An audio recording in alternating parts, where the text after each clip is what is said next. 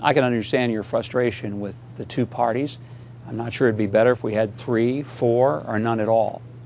On a positive side, the parties perform at least one important function. They provide a track on which the train runs. True, sometimes the train is more derailed than it is effective, uh, but frankly, any group of citizens can come up with a third party, or a fourth, or a fifth.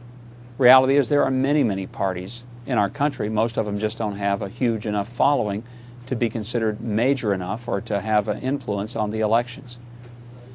I, I, don't personally belong to a party because I think it's always right. In fact, I've said as a Republican, Democrats aren't wrong all the time, Republicans aren't right all the time.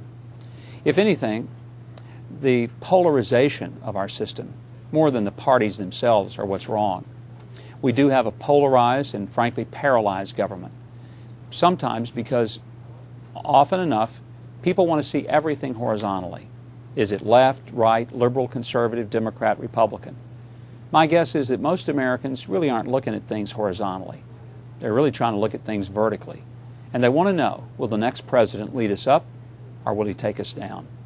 And frankly, whichever party can lead more vertically than horizontally is probably the party that's going to end up winning.